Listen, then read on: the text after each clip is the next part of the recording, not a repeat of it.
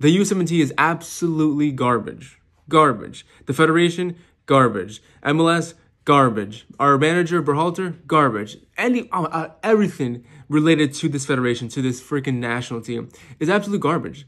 It, it's in shambles, and it's just been covered up by, you know, lucky performances and also playing a shitty ass Mexico team that is also in a transitional phase and not, not a good place. So this is not even their prime. We're not even beating Mexico in a prime in their prime phase. So this whole wheel Concacaf Kings, just shut the fuck up. Just shut up. All right. There's no Kings right now. Concacaf sucks. All of Concacaf sucks. USA sucks. I can't believe we lost to fucking Panama. I guess Panama doesn't fucking suck because they beat our ass.